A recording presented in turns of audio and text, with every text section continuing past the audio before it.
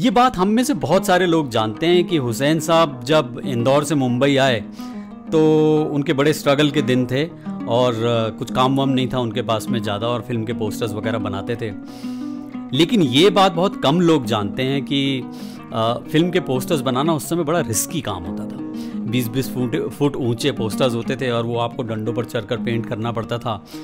आ, और गिर गिरा गए तो आपको चोट लग सकती थी। यही हुआ हुसैन साहब के साथ में। हुसैन साहब एक पोस्टर को पेंट कर रहे थे, उनका पाँव फिसला और वो पहुँचे सीधा अस्पताल। अब ये कोइंसिडेंस था कि जिस अस्पताल में हुसैन साहब पहुँचे, उसी अस्पताल में उस समय की बड़ी ही पॉपुलर एक्ट्रेस मीना कुमारी जो हैं, वो एडमिटेड थी वहाँ पर। उनको कुछ मामूली फीवर था तो एक दो दिन के लिए एडमिटेड थी वहाँ पर। अब मीना कुमारी को देखने के लिए एक मीना कुमारी की मित्र थी जो हुसैन साहब की कॉमन फ्रेंड थी, वो मीना कुमारी को देखने जा रही थी। अब देखने जा रही थी तो देखा उन्होंने रास्ते में हुसैन साहब हैं तो उन्होंने बोला, अरे हुसैन साहब, आप यहाँ क्या कर रहे हैं? तो उन्होंने बताया कि मैं ऐसे थोड़ा गिर गया तो थोड़ा छोटे मोटे लग गई।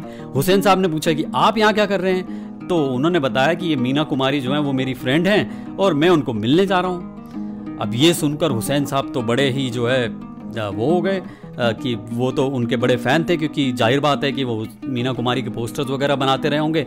और वैसे भी मीना कुमारी बहुत ही ज़्यादा पॉपुलर एक्ट्रेस थी। तो हुसैन साहब ने अपनी फ्रेंड को बोला कि, भाई, मैं भी मीना कुमारी से मिलना चाहता हूँ, आप बात करिए उनसे।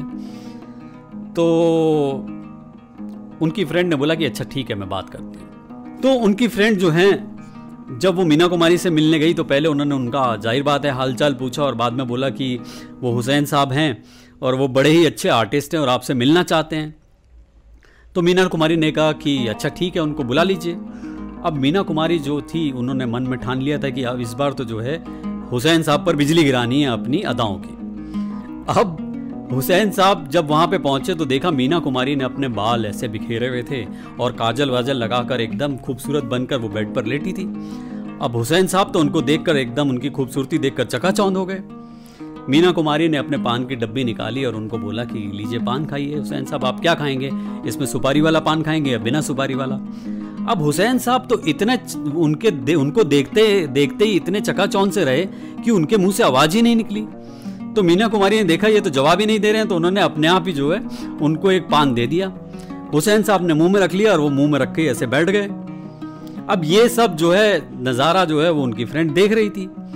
अब जब उनकी ये मुलाकात खत्म हुई तो अस्पताल से बाहर गए तो उनकी मित्र ने बोला कि हुसैन साहब, आप भी कमाल हैं। आप मतलब वहाँ पे मीना कुमारी आपको पान ऑफ़र कर रही हैं, आपसे पूछ रही हैं कि आप सुपारी वाला पान लेंगे या बिना सुपारी का लेंगे? आपने कुछ जवाब ही नहीं दिया। तो हुसैन साहब बोले कि क्या करूँ कम ने इस निगाह से देखा कि मेरी तो ज़ुबान ही कट गई।